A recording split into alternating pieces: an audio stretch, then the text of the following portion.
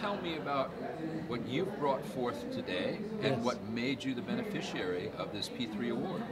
We're facing a whole new set of problems in our world today. Uh, these are mo much more complex than the problems we've ever faced before. Government has solved many of the problems, business has solved many of the other problems, and so the problems that we haven't solved need to be solved in partnership. And so these uh, public-private partnerships are what we need to solve the complex problems that we continue to face today. You know, one of the things that was so inspiring, as I said for me during this event, was hearing the Vice President Joe Biden uh, talk about some of these complex issues that faces today, uh, including corruption and, and how do you root corruption out, uh, including climate change, right?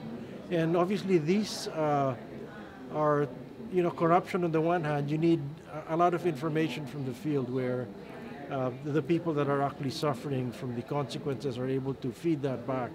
Whereas with climate change, you need to be able to take the information that you have and push that out. So the technology that we've used here allows you to do both crowdsourcing as well as pushing information out. You know, what inspired me the most about this project when I looked at it was the aspect that there was going to be a, uh, the ability to preserve the biodiversity within the area that we were working at. And I felt, you know, who knows, one day we might discover the cure for cancer somewhere within that area. And in order to ensure that the project met its goals, there had to be some technology support.